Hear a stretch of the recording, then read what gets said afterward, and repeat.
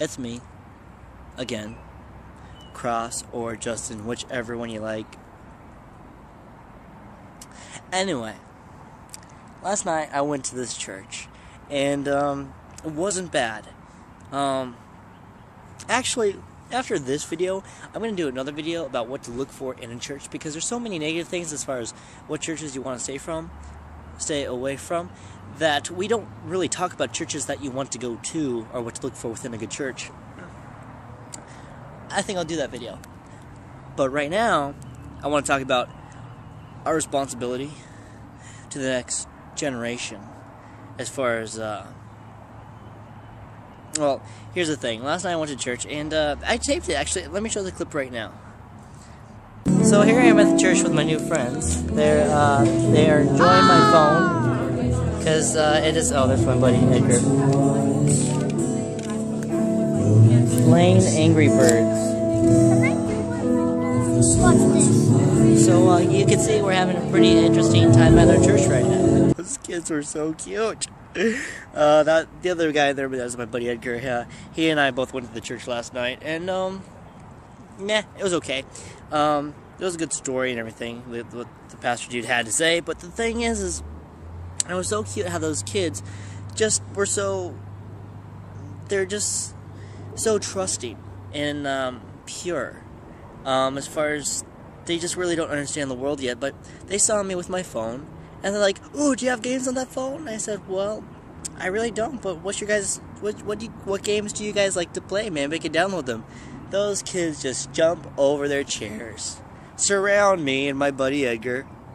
Actually, Edgar went to the restroom when he came back. all Also, I surrounded by kids. It was pretty funny, but um, it's so cute because there's two kids on my left playing the game, and then one kid on my or two kids on my right playing the game, one kid on my left, and he's got his arms up on my shoulder, just resting, resting his his um, um, arms on me, you know, on my shoulder, with his head tilting, looking past me, looking at the game, looks at me, can see a smile, looks back at the game, and I just see this like, these kids are just adorable. But it's interesting because what it does to your mentality. Um, when I get around kids like that, my whole mood changes. I feel uh, I understand the responsibility that I have for these kids, for my um, uh, it could be nephews, niece, my little cousins, um, um, and maybe just friends that you have who have kids that for some reason look up to you, and. Uh, you know, when you see this and you understand how they view you, and how they will copy things. They look up to you. Uh, you know, it's something that you need to take very seriously.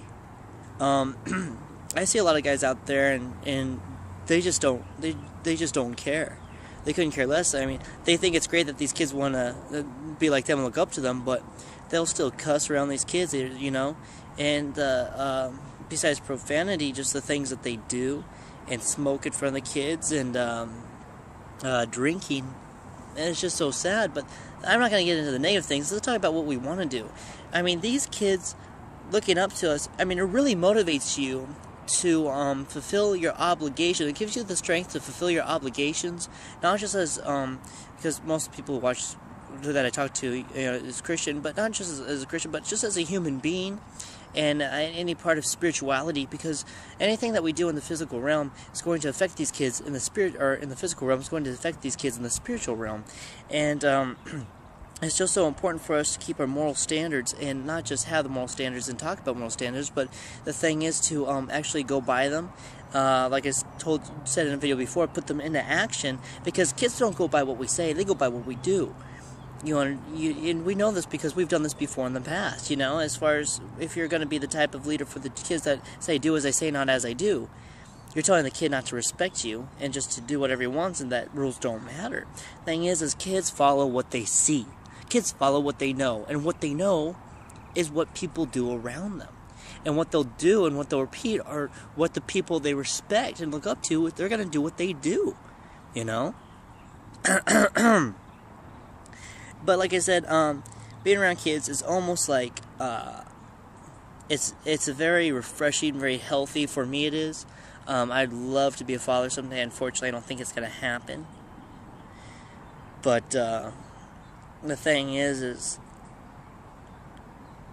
that'd be awesome, huh? Anyway, the unless you're a woman, then being a father would be weird.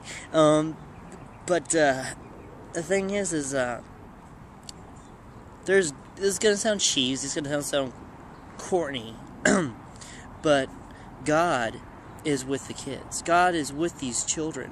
Um, the anointing I could feel around the kids yesterday, and and the the purity that they have just keeps them so open to to, to God that um, um, you know if you want to experience God, sometimes you need to be around a younger generation that's still pure and away from the sin, and hear what they have to say. And um, I've seen kids pray and and felt the presence of the Lord enter the room immediately. And uh, I've seen uh, people request for a bunch of children to pay, pray for someone and for that person to be healed in that room instantly because those children are praying for them because God hears their prayers. And um, it, you got to remember that these kids, um, uh, it's not just that, that kids are sin free.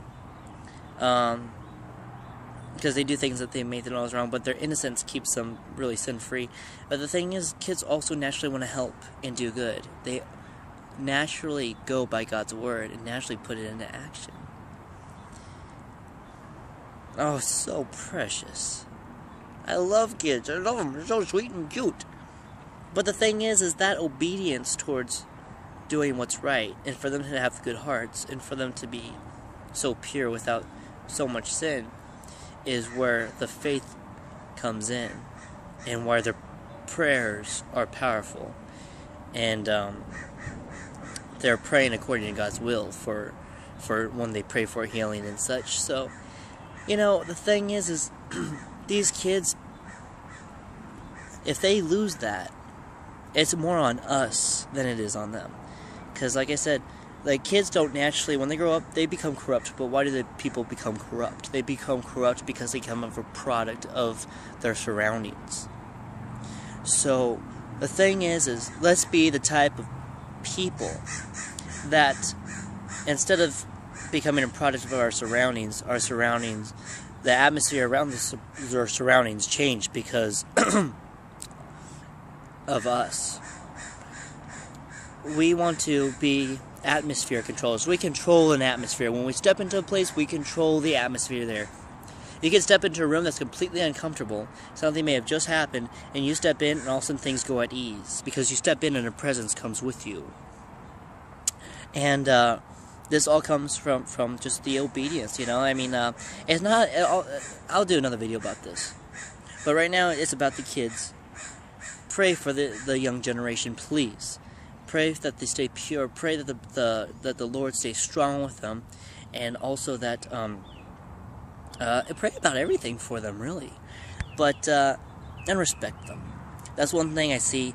People don't respect little kids around five or six years old. They don't because they say, ah, they're just kids. You know what? Kids are connected to God way more than we are because we, we've become older, we've become more poisoned in our souls and spirits with sin and um, the thing is, is even though we're forgiven for this sin, a lot of us we still remember it, and that's what keeps us.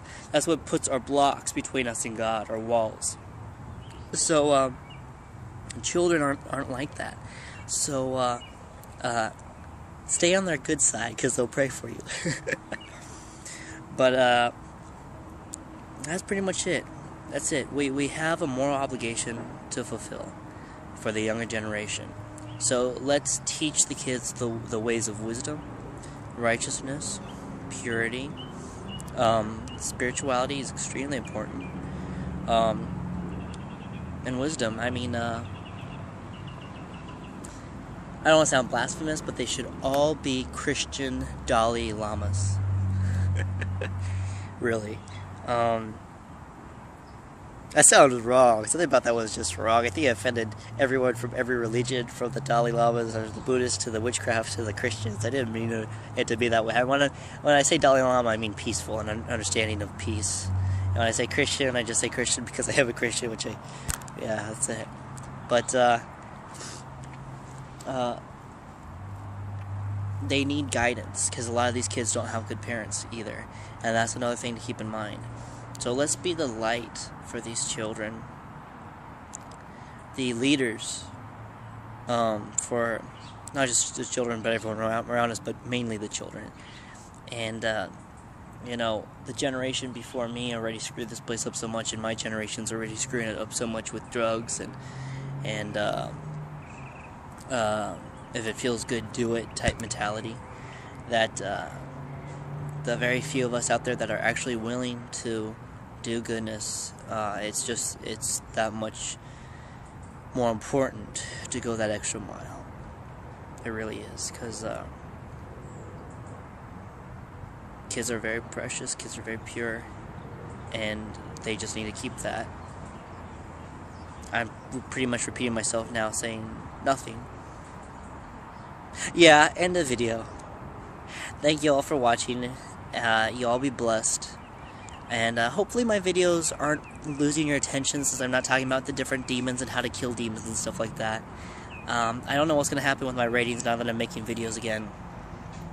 But either way, if you're watching this, I pray for uh, blessings for you, peace for you. I pray that God guides you through your day. I pray that the Holy Spirit comes um, and is uh, going to be a presence that's going to give you a hunger for the Lord and um, uh, for knowledge in order to back up your faith, to increase your faith.